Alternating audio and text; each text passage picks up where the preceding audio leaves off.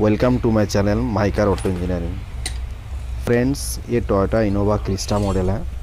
इसमें कस्टमर का कंसर्न है। ब्रेक पेडल पहले से थोड़ा डाउन हो गया है। हैंड ब्रेक जो है, वो थोड़ा सा लूज़ हो गया है। तो ऐसा कभी भी प्रॉब्लम हो तो फ्रेंड्स आप पहले ब्रेक शू को चेक करिए। क्योंकि ब्रेक शू के लिए ऐसा प्रॉब्लम होता है। तो चलिए हम ब्रेक शू खोल के चेक करते हैं।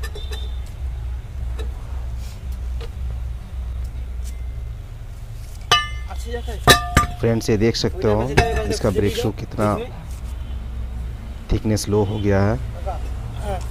तो हम ब्रेक शू इसको चेंज करने वाला हैं। तो फ्रेंड्स आप वीडियो को एंड तक देखिए। हो सकता है कि कोई भी इंफॉर्मेशन आपको एंड तक मिल जाए।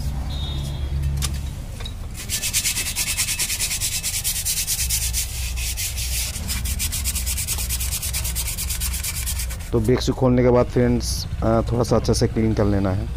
ये देख सकते हो टोयोटा का ब्रेक शू है, इसको हम फिटिंग करेंगे।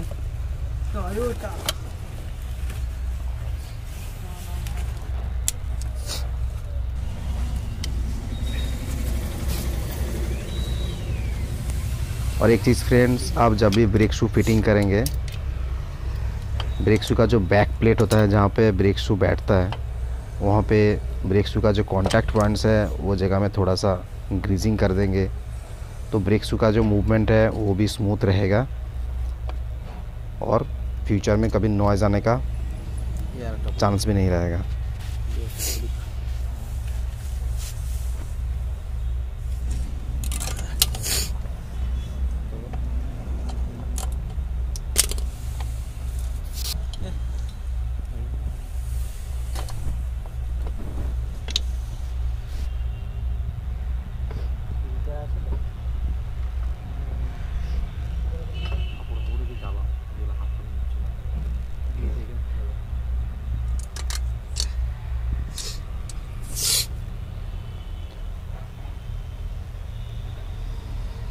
सुरू बिस्कुटे वाटत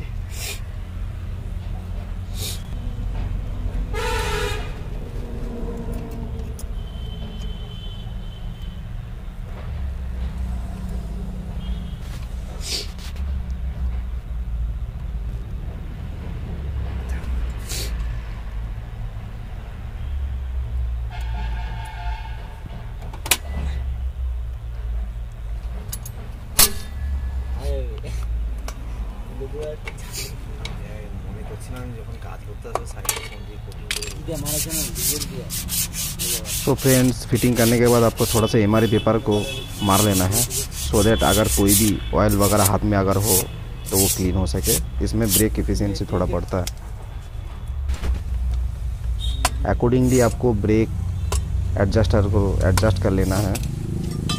और एक चीज़ ध्यान में रखना है कि मैक्सिमम इतना तक एडजस्ट करना है कि ब्रेक ड्राम घूमने में जैम ना हो, उसको आपको फ्रीली मूवमेंट करके देख लेना है। आप देख सकते हो। हम इसी हिसाब से करेंगे। आपको इसी तरह से घुमा के देख लेना है। तो खैर थैंक्स फॉर वॉचिंग फ्रेंड्स